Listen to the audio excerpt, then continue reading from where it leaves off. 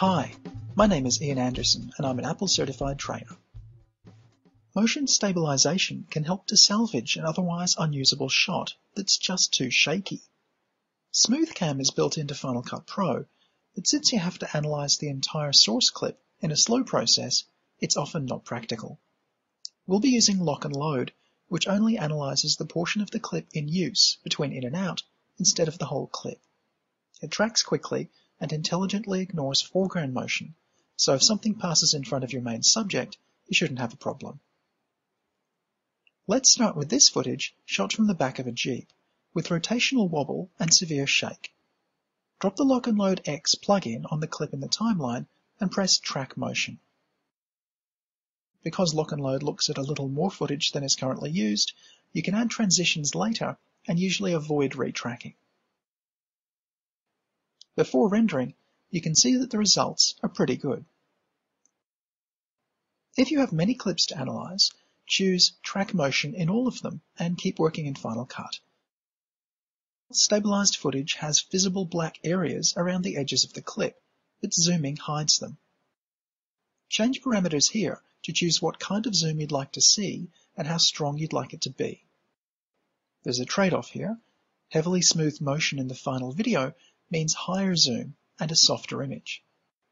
If you're targeting SD, you may be able to keep minor black margins outside the action safe area. If you're targeting HD or the web, you might have to eliminate black margins entirely. Either way, Smart Zoom will apply the lowest zoom possible within the parameters you set. You can see the degree of zoom as the clip plays down here.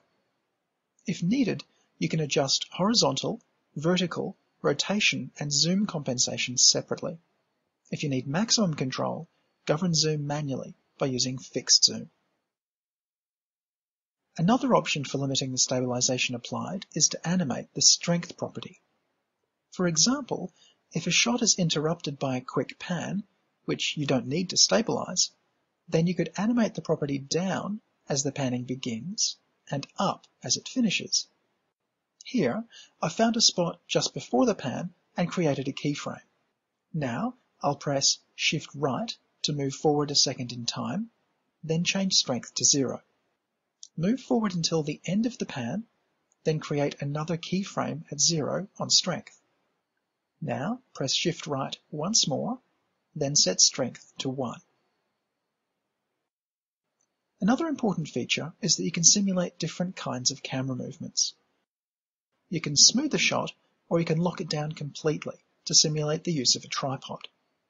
It's also possible to deal with multiple shots in one source clip by choosing the Smooth Multi-Shot option. CoreMelt provides two versions of Lock and Load for different kinds of projects. Lock and Load X is faster to analyze in most cases, but on very complex projects, you may need to use Lock and Load frames.